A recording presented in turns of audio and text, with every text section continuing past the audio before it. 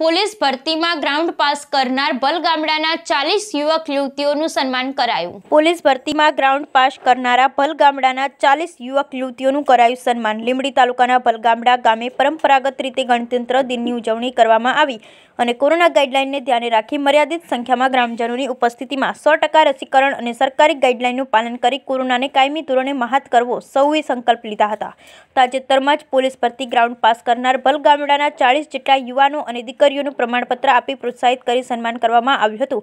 આ પ્રસંગે તાલુકા પંચાયતના પ્રમુખ કૃષ્ણસિંહ રાણા તેમજ ગામના નવનિયુક્ત સરપંચ સુખદેવસિંહ ઝાલા અને ઉપસરપંચ શક્તિસિંહ ઝાલાનું સન્માન કરવામાં આવ્યું હતું.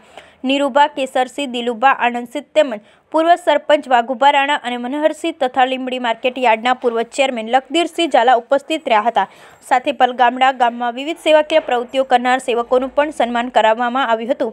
આ કાર્યક્રમને સફળ બનાવવા પ્રાથમિક શાળાના આચાર્ય પ્રવીણભાઈ રેથળિયા અને લીંબડી તાલુકા ભાજપ મહામંત્રી સંજયભાઈ અમદાવાદિયાએ જહેમત ઉઠાવી હતી. Bureau report Jayendrasinh Zala.